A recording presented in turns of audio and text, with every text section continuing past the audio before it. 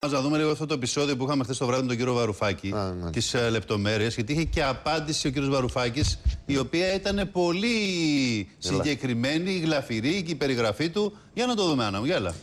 Ναι, καλή σας ημέρα και πάλι. Έχουμε την ε, ανακοίνωση του ιδίου του Υπουργού Οικονομικών του κ. Βαρουφάκη, μια μακροσκελή ανακοίνωση που επιβεβαιώνει το περιστατικό.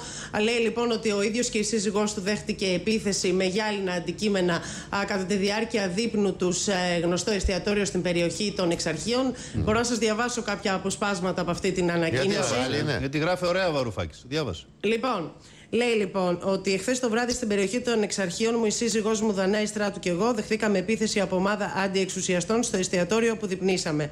Αντίθετα με τις εικασίες που ακούστηκαν, δεν επρόκειτο για οργανωμένο επεισόδιο, προσπάθεια σοβαρού τραυματισμού μας, προβοκάτσια ή για μέρος της συνολικότερης προσπάθειας πολιτικής αποδόμησής μου των τελευταίων ημερών. Τα γεγονότα, λέει, εξελίχθηκαν ως εξής.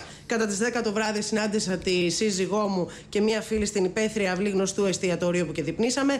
Δύο ώρες περίπου αργότερα, αφού είχαμε ολοκληρώσει το δείπνο μας, εισέβαλε στην αυλή ομάδα αντιεξουσιαστών. Με απειλητικές διαθέσεις, καλυμμένα τα πρόσωπα, ύβρις και ρήψη γυάλινων αντικειμένων προς εμάς, κινήθηκαν σχετικά αργά προς το μέρος μας, απαιτώντας την απομάκρυνσή μου από το χώρο τους. Στόχος μου λέει, έχω την εντύπωση, δεν ήταν ο τραυματισμός μας, καθώς αν ήθελαν να με τραυματίσουν, είχα την ευκαιρία και την συντριπτική αριθμητική υπεροχή. Εκτιμώ ότι στόχος τους ήταν να με οδηγήσουν σε άτακτη φυγή με ελαφρά εξευτελιστικά χτυπήματα. Αυτό όμως δεν μπορεί να επιβεβαιωθεί επειδή η Δανάη, πριν έρθουν δίπλα μας οι αντιξουσιαστές, σηκώθηκε όρθια, με αγκάλιασε με δύναμη, στρέφοντας την πλάτη της προς αυτούς, έτσι ώστε να πρέπει να χτυπήσουν πρώτα εκείνοι πριν χτυπήσουν εμένα. Επί της ουσίας, δηλαδή λέει ότι η σύζυγός του τον ε, προστάτευσε. Στη συνέχεια περιγράφει πως οι ίδιοι χρειάστηκε, ε, αναγκάστηκαν να βγουν α, λόγω αυτής της ε, κίνησης της Αργότερα συζύγου μέσα του στη από το νύχτα να γράφει μαγαζί. ολόκληρη ανακοίνωση, δύο σελίδες. 600 συνεχι- λέξεις μαθαίνουμε ότι είναι η ανακοίνωση. Ναι, δεν πρόλαβα να τις μετρήσω, αλλά η αλήθεια είναι ότι είναι μακροσκελής. Λέει λοιπόν ότι αμέσως μετά οι άγνωστοι βγήκαν από το χώρο του εστιατορίου. Φυσικά οι θαμώνες του εστιατορίου έντρομοι μετά από ένα τέταρτο αποχώρησαν. Βγήκαν και Αλλά οι και το ίδιοι μαγαζί έχασε τα λεφτά.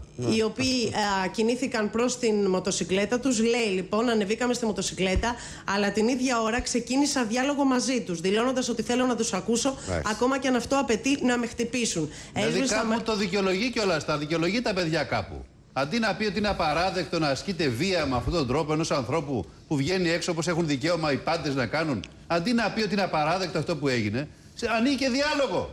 Αυτό είναι το εντυπωσιακό για μένα. Εγώ εκεί εντυπωσιάζομαι. Άννα. Μην εξεγείρεστε, Κα- κύριε κατά δι- Οικονόμου. Θα μας πείτε, κύριε Φίλη, δεν ρωτήσαμε Έχει, ακόμα. έχει ένα λεπτό. δικαίωμα άνθρωπος να περιγράφει και να έχει την άποψή του. Καμία αντίρρηση. Μην εξεγείρεστε. Καμία αντίρρηση. Ελάτε λοιπόν. Αλλά μην δικαιολογούνται Λίγη και τα σεμνότητα. δικαιολόγητα. Λίγη Πήγαν, σεμνότητα. ε, Να τον προπυλακίσουν Κύριε τον Φίλη, Υπουργό και τους καθένας λέει τι θέλει δικαιολογήσουμε να και πει. από πάνω. Τέλος πάντων, καλά.